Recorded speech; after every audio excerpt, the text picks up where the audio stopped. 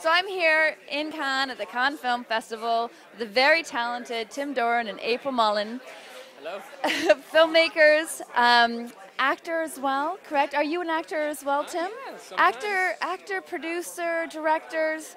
You guys and writers. Yeah. So you guys are like the whole thing. You know, this is interesting. I want to talk about some of that stuff. You know, making your own movies and being control freaks. Are you control freaks? Uh, a- a- I would say I am a little bit, but uh, I, I don't think We're it's like necessarily a creative bad thing. Freaks. We're like passionate creative freaks. So if there's a story that we can't help but just like fall in love with, we have to like see it through from beginning, middle to end. I guess that's the problem. Yeah.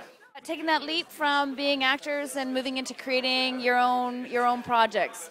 What was what was the the spark that created that that said I made you guys say you guys wanted to do this? You know, it's we met in theater school. We both went to Ryerson in Toronto, and uh, we were both always pretty big into creating our own work. And it was a really good thing that the school promoted was creating your own work. But when we first graduated, we were like, we're ready, we're going to act. And then all of a sudden, like every single strike in the world happened: the writer's strike, the actor's strike, uh, reality TV was coming up. So there was just like no work at all, and um, which was actually in the long run Blessing in a way. Yeah. In disguise. so we, we, we said, you know, let's let's just start creating our own stuff. So we just started.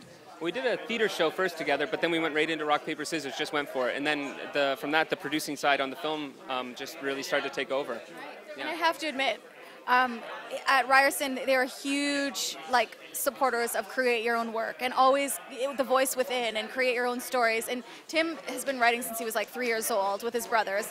And I sort of, since I started acting, was literally behind the director's chair, never in my trailer eating lunch. I was always like scoping the situation out. So it was like I think a long time coming too. So I think it was in our blood for you know since we were young, very young. Is there one aspect of filmmaking that you love more than the other?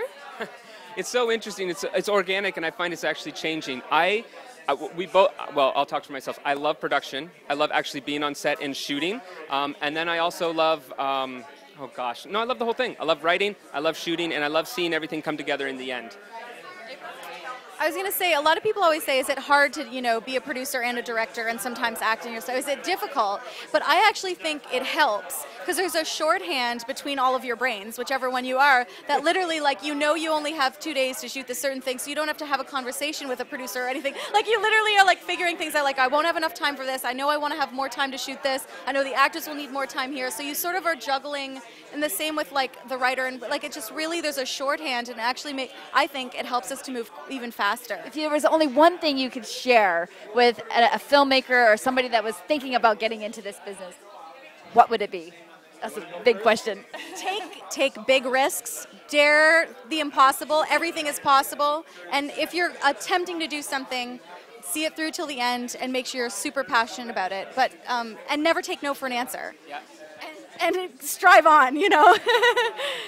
Yeah yeah literally. But but be big be courageous make huge risks be willing to fail and fall on your face because that's what happens in the beginning. And if that's okay that's fantastic.